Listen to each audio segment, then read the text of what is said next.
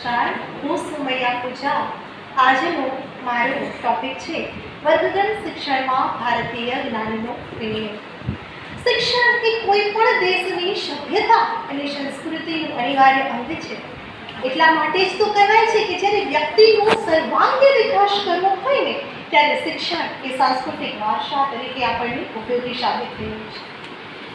સ્વામી વિવેકાનંદે કહ્યું છે કે શિક્ષણ એ માણસમાં રહેલી એના અંદર જે ક્ષમતા છે.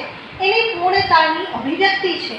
પણ ક્યારેક વિચાર આવે કે આ શિક્ષણ પ્રણાલી આપણને સૂચવે છે? ઔદ્યોગિક વિશ્વની સેવા કરતા હાલના સમયમાં ક્યાંક પણ કેન્દ્રીય વ્યક્તિ માટે રચાયેલ શિક્ષણ પ્રણાલી છે એના અંશો જોવા મળ્યા છે. તેનો ઉદ્દેશ વિદ્યાર્થીની સાચી ક્ષમતા છે એને ખીલવવો નથી. સુકેન્દ્રિત નોકરી શોધતી વ્યક્તિઓને બનાવે છે. તેઓ ફક્ત આજીવિકાના રડતા ધ્યાન પર કેન્દ્ર કરે છે. પરંતુ આજીવિકા મેળવવી એ કોઈ સર્વોચ્ચ આકાંક્ષા હોઈ શકે નહીં. એટલા માટે જ ભારતીય સંસ્કૃતિ, ભારતીય શિક્ષણ અને ભારતીય જ્ઞાનનો વર્ગખંડમાં વિનિયોગ કરવો જરૂરી બન્યો છે.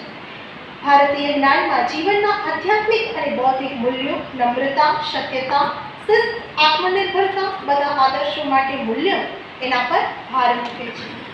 હવે આ પ્રશ્ન હતો કે કોઠારી કમિશને કહ્યું છે કે ભારતનું ભાવિ એના વર્ગખંડમાં ઘડાઈ રહ્યું છે. તો આ વર્ગખંડમાં જ્યારે ભણતરની વાત આવે તો ભાર વિનાના ભણતર સિવાય વિદ્યાર્થી એ દફતરના ભારનો થાક ન અનુભવે પણ ભવિષ્યમાં નોકરીની સાથે ધર્મ વત્તા વિજ્ઞાન બરાબર સર્વોદય એ સુધી પહોંચી શકે. તો એના માટે આપણે વર્ગ શિક્ષણમાં જ્યારે વર્ગખંડમાં ભારતીય જ્ઞાનનો વિનિયોગ કેવી રીતે કરશો? તો નવી શિક્ષણ નીતિ છે એ પણ એવું જ સૂચવે છે કે ભગવદ્ ગીતાના અધ્યાયોનો એમાં સમાવેશ કરીશું.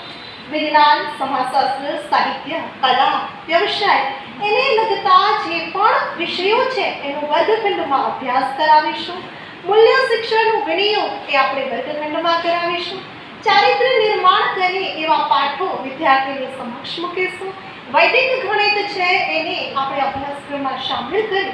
અને માત્ર ગોખણ પટ્યું જ્ઞાન ના આપતા વિદ્યાર્થીનો સર્વાંગે વિકાસ થાય એવું જ્ઞાન પીરસીશું તો આ રીતે આપણે એનો વિનિયોગ કરીશું. અને જે આ જ્યારે આપણે વિનિયોગ કરતા હશું, ત્યારે એના ફાયદા શું થશે? તો પહેલું આપણે એમ કહી શકીએ કે વિદ્યાર્થી છે ને, એના મદદથી ક્રિયાશીલ બનશે. એની સર્જનાત્મક શક્તિ છે, એમાં વિકાસ થશે. એની વિચાર શક્તિ